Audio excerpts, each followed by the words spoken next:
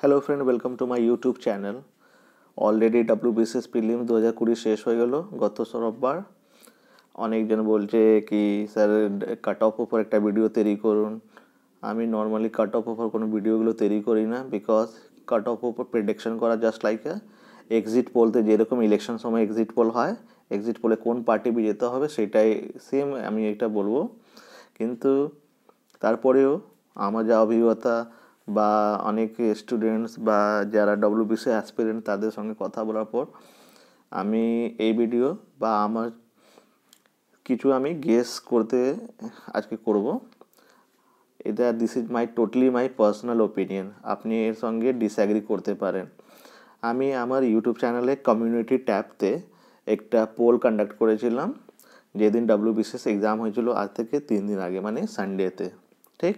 সানডেতে আমি প্রশ্ন করেছিলাম কি আপনারা ডাব্লিউবিসিএস প্রিলিমসে কত কোশ্চেন অ্যাটেম্প্ট করেছেন ঠিক ওখানে আপনি দেখতে পারেন রেজাল্ট যে ফাইনালি টোটাল পাঁচশো চব্বিশ জন ভোট করেছিল তার মধ্যে একশো জন বলল তারা দশ পার্সেন্ট মানে দশ পার্সেন্ট ব্যক্তি লেস দেন একশো অ্যাটেম্প করেছিল একশো থেকে একশো কুড়ি অ্যাটেম্প করেছিল চব্বিশ পার্সেন্ট আবার নেক্সট চব্বিশ পার্সেন্ট অ্যাটেম্প করেছিল একশো একুশ থেকে একশো পঁয়ত্রিশ মধ্যে তারপরে দেখুন একশো ছত্রিশ থেকে একশো পঞ্চাশ টোয়েন্টি ফোর পার্সেন্ট অ্যান্ড একশো পঞ্চাশ পঞ্চাশ থেকে উপরে মাত্র আঠেরো পার্সেন্ট করেছিল। তাহলে দেখুন পেপার এবার মনে হয়েছিল ফার্স্ট কি সহজ, কিন্তু এটা ট্রিকি কোশ্চেনগুলো ছিল। যেরকম ইংলিশতে অনেক জানে ভুল হয়েছে পিএসসি অ্যান্সার কী দিয়েছে, ওখানে কিছু কিছু হিস্ট্রি বা কিছু কিছু আনসার কী নিয়ে এখনও কনফ্লিক্ট আছে, এইটা কাট এইটা রাইট না ওইটা রাইট তাহলে দেখুন ম্যাক্সিমাম যে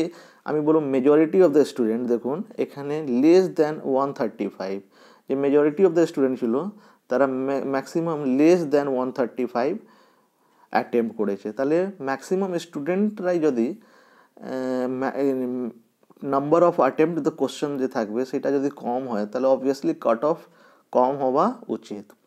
ঠিক, এইটা হলো সানডে দিন, যেদিন সব পরীক্ষা দিয়ে এসেছে তাহলে কত অ্যাটেম্প করেছিল? এইগুলো ভোট করেছিলাম। তারপরে আমি একদিন পরে আর একটা পোল কন্ডাক্ট করেছিলাম। একদিন পরে মানে যেদিন পিএসসি অ্যান্সার কি ইস্যু করে দিল, সেই দিনেই আমি বিকালে একটা পোল করে, করেছিলাম। এই পোলতে দেখুন, এখানেও চারশো তেরো জন ভোট করেছে। এই চারশো তেরো জনে আমি জিজ্ঞেস করেছিলাম কি as per PSC official answer কি, আপনাদের কত নেট স্কোর আসছে? মানে নেগেটিভ বাদ দিয়ে কত মার্কস আসছে। তাহলে যেই সময় আমি এই পোলটা করেছি, ওখানে দেখুন, একশো থেকে একশো পাঁচে যে নাম্বার আসছে তাটা তাদের মধ্যে ফর্টি ফাইভ পারসেন্ট মানে ফর্টি ফাইভ পারসেন্ট যে রেসপন্ডেন্ট ছিল, তারা বলল কি তাদের নম্বর আসছে একশো থেকে একশো পাঁচ। আবার দেখুন, একশো ছ থেকে একশো দশ মধ্যে আসছে, তেরো পার্সেন্ট লোক ভোট করেছে। ক্লিয়ার একশো এগারো থেকে একশো পনেরো দেখুন, এখানে আবার তেরো পার্সেন্ট খুবই কম ব্যক্তি মানে প্রায় তিরিশ পার্সেন্ট ব্যক্তি বলব যারা হান্ড্রেড ফিফটিন অ্যাবভ স্কোর করেছে।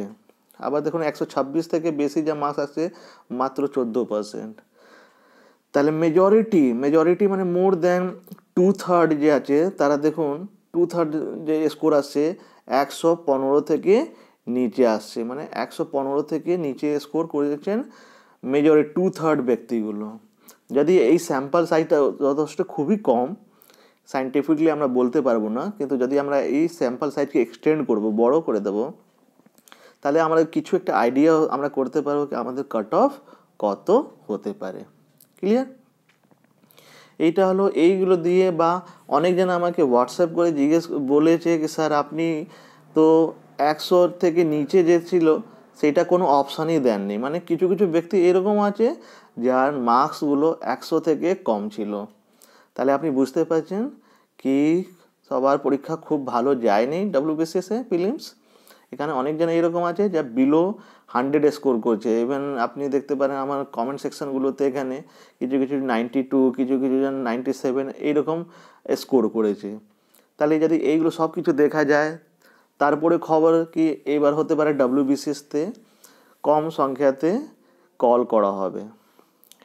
ঠিক? যদি গতবারে যেরকম ডাকা হয়েছিল স্টুডেন্টগুলোকে মেন্সে এক্সাম দেওয়ার জন্য, সেই দিক থেকে যদি দেখা হয়, তাহলে কাট অফ অনেকই কম হবে, ঠিক? আমার যা মনে হচ্ছে কাট অফটা যদি যেভাবে হোক, একশো পনেরো তো কোনো দিন হবে না, কিন্তু কাট অফটা কত হতে পারে, আমি আমি যে একটা প্রেডিকশন করছি, যা কথা বলে বা এই পোলগুলোকে দেখে, আমার মনে হচ্ছে কাট অফটা একশো দুই থেকে একশো সাত মধ্যে থাকবে। এ থেকে কাট অফ নিচেও হতে পারে, আমি বলছি। কিন্তু আমার মনে হচ্ছে যা, একশো দুই থেকে একশো সাত মধ্যে কাট অফ হতে পারে। ক্লিয়ার তাহলে আপনারা অনেকজন চিন্তা করছেন কাট অফ কত হবে। যদি আপনি if you are getting more than hundred plus আমি বলব যদি আপনি হান্ড্রেড প্লাস থেকে বেশি মার্কস তুলেছেন, তাহলে তাহলে আপনারা মেন্সের জন্য পড়াশোনা স্টার্ট করে দিন। কেন? সাপোজ আমি বলছি, একদম নেগেটিভভাবেও আমি বলছি, যদি আপনি সাপোজ এই বছর পাস করেন না, তাহলে কি নেক্সট ইয়ার কি আপনি ডব্লিউ বিসিএস দেবেন না? যদি ডব্লিউ বিসিএস দেবেন, তাহলে সেই সময় কি আবার শুধু প্রিলিমস জন্য তৈরি করবেন?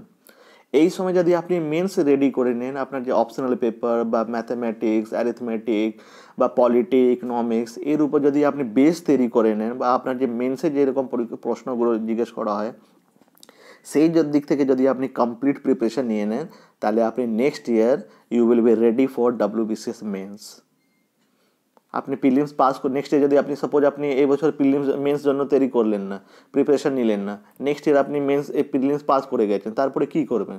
তারপরে কি আপনি কি আর দেবেন না এক্সাম তাহলে এটা ভেরি নেগেটিভ অ্যাপ্রোচ কে আমাকে মেন্স জন্য তৈরি করব কি করব না?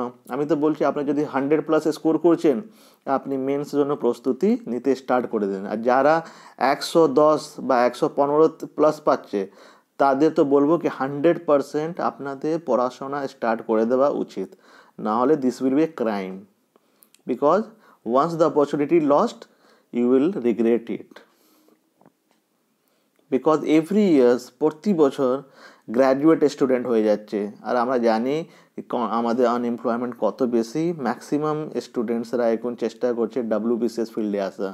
Even those who are engineer, from engineering backgrounds, they are leaving their job just to get job in the WBCS তাহলে এভরি ইয়ার কম্পিটিশনটা খুব হার্ড হয়ে যাচ্ছে। আপনারা দয়া করে please if you are getting hundred fifteen hundred ten plus নিশ্চিন্তভাবে আপনারা পড়াশোনা করুন because it will help you in mains clear এরপরে আমি বলব, আমার তো প্রেডিকশন হলো একশো দুই থেকে একশো সাত মধ্যে কাট অফ হবে। একশো কাছাকাছি যেতে পারে যদি যদি যদি বেশি সংখ্যাতে ডাকে তারপরে। ঠিক, এরপরে অ্যাকাডেমিক অ্যাসোসিয়েশনের শামীম সরকার স্যার তিনি কলম পত্রিকাতে একটা লেখা বেরিয়েছিল। ওখানে তিনি একটা পুরো বিশ্লেষণ করেছেন মানে ডিসকাশন করেছেন, এর ফিচার্সগুলো ডাব্লিউবিসিএস এক্সামসে সেখানে বলেছেন তিনি তার বক্তব্য কি গত বছর ছিল একশো পাঁচ কাট অফ ছিল, আবার দুশো দু হাজার আঠেরো সালে নাইনটি সেভেন কাট অফ ছিল। তাহলে তিনি কি বলছেন, যদি কাট অফটা এইরকমই যদি যায়, তারপর কত হতে পারে? একশো দশ থেকে একশো পনেরোর মধ্যে। ক্লিয়ার যাদের একশো দশ মধ্যে কাট অফ আছে বা একশো পনেরোর মধ্যে, তাদের তো স্যার বলছেন কি, এটা পড়াশোনা স্টার্ট করে দেওয়া উচিত।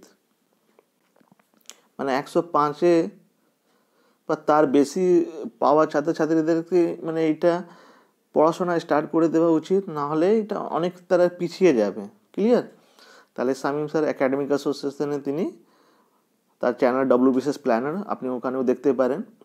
তিনি এটা তার আপনি পজ করে এটা পুরো পড়তে পারেন কি কত কাট অফ হবে। তাহলে আমি বলব if you are getting score hundred two plus hundred seven I think you can succeed, but this is just my prediction. Cut অফটা একশো একশো কাছাকাছিও যেতে পারে। তাহলে আপনারা পড়াশোনা স্টার্ট করে দিন। If you pass this year you will appear in the mains otherwise you will you will be ready for WBCS mains two thousand twenty one এইগুলো যা আপনি পড়বেন, সব তো মাল্টিপল চয়েস কোশ্চেনগুলো এখানে। মাল্টিপল চয়েস কোশ্চেন থাকলে আপনার লাভ কি? আপনি যা পড়াশোনা করবেন প্রিলিমসও তৈরি হবে আপনার মেন্সও তৈরি হবে, এরপরে অনেক কম্পিটিটিভ এক্সামগুলো আছে এসএসসি সিজিএল মিসলেনিয়াস এই সব জায়গায় আপনার হেল্প করবে। তাহলে without any delay please start preparation for WPCS mains thank you so much